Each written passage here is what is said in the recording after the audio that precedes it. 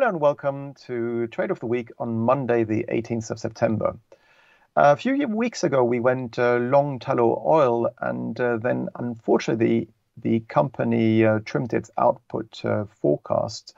And um, basically, that led to the share price dropping by about 10%. But as you can see here, we didn't get stopped out. Our stop loss was below the last reaction low at 31 pence and 50 uh, and this time around, basically what happened, we bounced off the uh, long-term uptrend and also the red line here, the 200-day simple moving average at 32 and a half pence. So we're still long uh, Tullow oil with regards to that trade.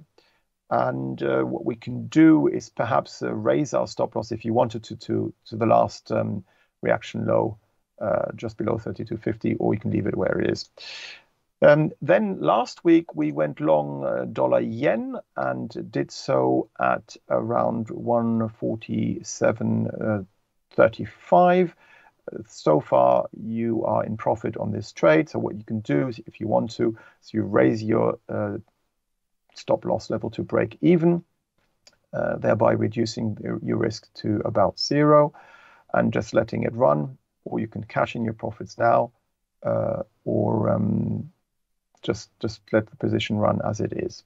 So that's another one which is still open, which brings me then to this week's trade of the week, and uh, it is to go short the DAX uh, 40 contract. And the reason for this is that uh, basically uh, we are now in a time frame.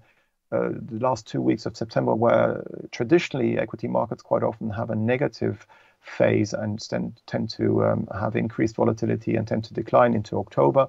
And also from a technical perspective, we've just failed again to break through the orange line here, the 55-day simple moving average, and didn't last week manage to break above the late August high at 16,044.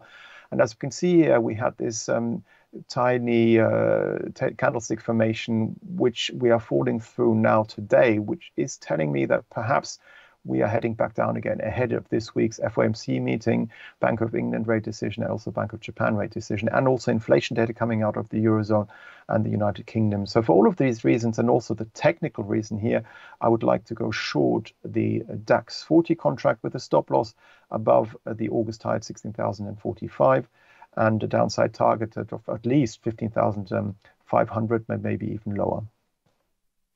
So this week's trade of the week is to go short the DAX 40, ideally on a bounce back towards 18,000, um, excuse me, towards uh, 15,845 uh, with a stop loss at uh, 16,045 and a downside target of around 15,500 or 15,400.